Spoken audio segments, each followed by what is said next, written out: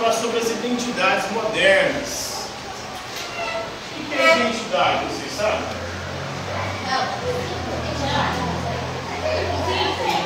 O que é identidade? Identidade é.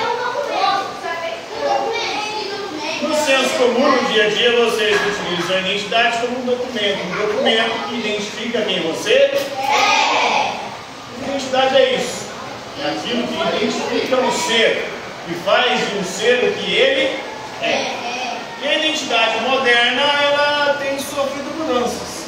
Ao longo da história da humanidade, os seres humanos, eles tiveram identidades fixas. Uma identidade que permanecia ao longo da vida. A pessoa sentia-se e acreditava ser uma mesma pessoa, um mesmo ser, com as mesmas características durante ou ao longo de toda a vida. Agora, mais recentemente, a nossa identidade ela está sendo descentrada. Aquilo que a gente acreditava ser quando era criança muda na adolescência, muda na juventude, muda na idade adulta, muda durante a velhice. Porque à medida que a gente vai entrando em contato com outras culturas e outras identidades, que são inúmeras, cada vez maiores, num mundo tão gigantesco como esse planeta em que nós vivemos, com mais de 8 bilhões de pessoas, com praticamente 200 países do mundo, com culturas completamente distintas, com culinárias também culinárias distintas, ao entrar em contato com todas as culturas, a gente vai redefinindo constantemente a nossa identidade. Por exemplo, na década de 90, eram poucas as pessoas que conheciam comida japonesa. Ninguém sabia que gostava de comida japonesa. Ninguém se identificava como alguém que, ah, eu gosto de comida japonesa. Tem gente que gosta de K-pop, de dorama. E essas coisas também não existiam antigamente. E é de uma outra cultura, de outros povos. E isso passa a agregar, a ser acoplado né? à identidade das pessoas. Então a nossa identidade é influenciada pela cultura e do nosso contato com outras culturas. E a gente vai se mudando e vai mudando a nossa percepção de nós mesmos. Então o indivíduo vivia numa comunidade na Idade Média, isolada, ele tinha pouco contato com outros. Então ele acreditava ser a mesma pessoa, do mesmo jeito, com as mesmas características, do começar a vida até a morte. Agora a gente vai mudando. A gente vai percebendo, por exemplo, características nossas que a gente não gosta. Aí a gente trabalha para mudá-las. A gente vai conhecendo pessoas e coisas novas e trocando essas novas por antigas que você já não se identifica mais. Essa é a nossa vida, essa é a nossa existência atual, essa é a identidade moderna. No século XVII depois de Cristo, o self, ou seja, o eu, tornou-se um substantivo pela primeira vez. Existia o eu, o indivíduo.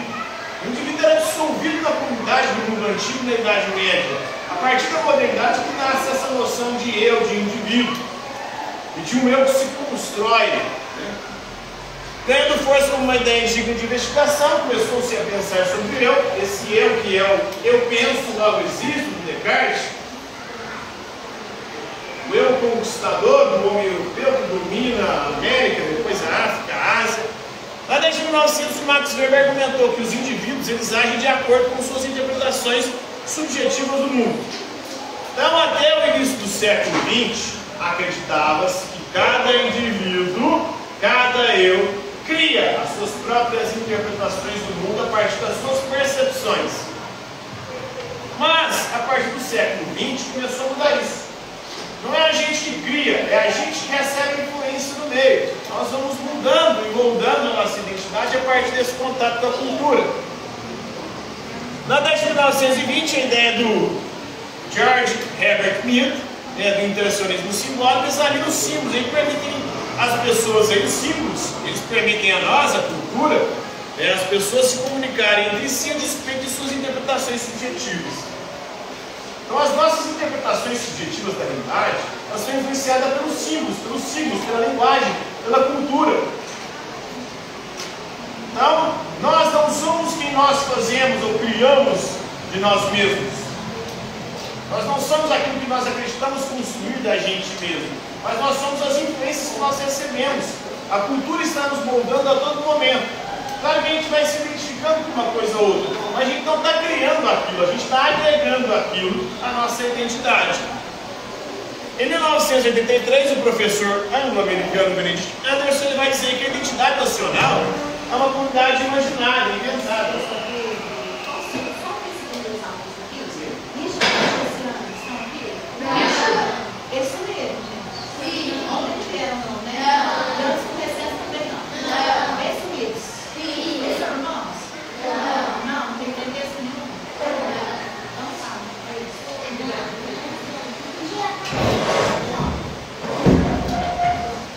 Então, continuando, a identidade, nacional, a identidade nacional também é uma comunidade imaginada, é uma invenção. Igual nós estamos vivenciando a Olimpíada. Vocês estão assistindo a Olimpíada? Quem está assistindo? A galera geral está assistindo a televisão aí na internet o dia inteiro a Olimpíada aí, dizendo que, é brasileiro está torcendo o braço. Isso é uma invenção. Uma invenção que está perdendo cada vez mais as suas características. Por quê? À medida que os brasileiros estão entrando em contato com outros culturas, outros povos, ele vai se identificando com outros.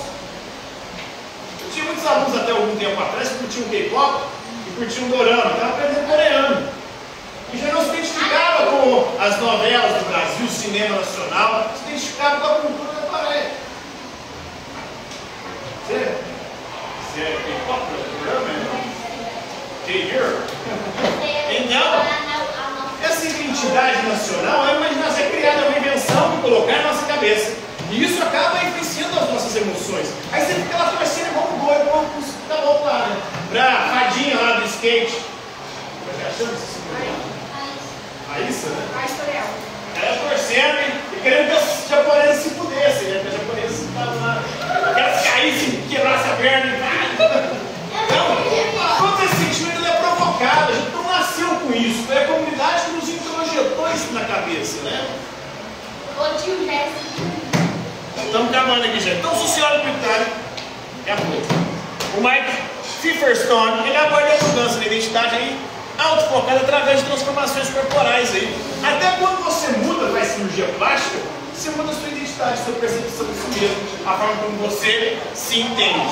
Então a identidade moderna é mais fixa, ela está mudando constantemente, ela não é mais a mesma durante toda a vida, porque brota da crescente consciência e da incidência de ancestrais comuns. A gente sabe da história, sabe como a história também foi moldada, história branca, os negros foram excluídos dessa história, por exemplo, né? as mulheres também foram marginalizadas ao longo da história. De modo que nenhuma nação é vista como mal definida mais. Nenhuma nação se define. É um grupo específico, geralmente político, que define o que é aquela nação e impõe para os outros. Da crescente consciência, identificação com tradições, valores e crenças de países diferentes, cada vez mais ao entrar em contato com outras culturas. Já usamos jeans, roupas aí, né? Tênis da Nike, tudo isso é brasileiro. Na hora de comer, a gente gosta de fast food, gosta de pizza, nem italiana é, chinesa, né? E aí a gente acha que é italiano, é fast food com hambúrguer, essas tudo aí não é brasileiro, nada de ser brasileiro. Então o que é ser brasileiro? O país do futebol, futebol nem nas Olimpíadas foi. Não, foram mais o país do futebol também. Não, parece uma história diferente de uma história de vida autoconstruída que não é mais sentida como determinada por classe, por raça, por gênero, de um questionamento das tradições dos estilos de vida por causa das interações e das interconexões globais. À medida que a gente vai conhecendo outras culturas, outros povos, outras identidades, a gente vai moldando e mudando a nossa identidade. Nas cidades modernas, aí, culturas diferentes são colocadas juntas nas grandes metrópoles. Aqui na sala mesmo, nós temos colega haitiana. Ela está recebendo influência da cultura nacional e está influenciando a gente também, de alguma forma. Então, quanto mais é, nossa vida é influenciada por diferentes tradições, menor é o sentido que temos de uma identidade nacional fixa. Então esse tem que ser brasileiro, ah, eu amo o Brasil, sou brasileiro, estou Brasil. Isso aí está acabando. E a tendência é vai chegar um momento que ninguém vai mais se identificar com o brasileiro. Porque o que é ser brasileiro? O brasileiro era gostar de futebol. Hoje, o Brasil né, tem futebol, dá mais essas coisas mais. Né? O Brasil quer um país de futebol, foi tentando ganhar uma Copa. Né? Tá mal. Então as nossas identidades são cada vez mais desconectadas da onde a gente nasce e cada vez mais excluídas a partir do contato que a gente estabelece ao longo da vida, beleza? Entenderam? Alguma dúvida? Tá tranquilo? Tá Vamos fazer isso aí.